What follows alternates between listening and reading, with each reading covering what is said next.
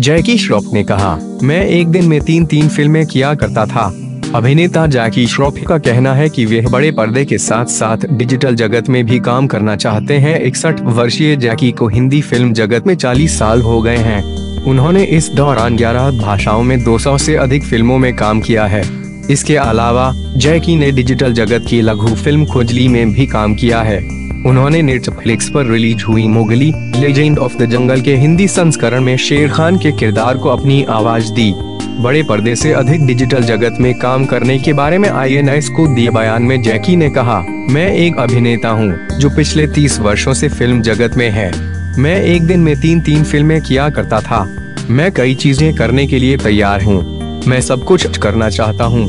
जैकी ने कहा, डिजिटल मंच की पहुँच व्यापक रूप से है। एक फ़िल्म के रिलीज़ होने में समय लगता है। डिजिटल में आपका जब मन चाहे आप देख सकते हैं। वर्तमान में जैकी के पास रोमियो अकबर वॉल्टर प्रस्थानम, साहो, फिर की और भारत फ़िल्में हैं।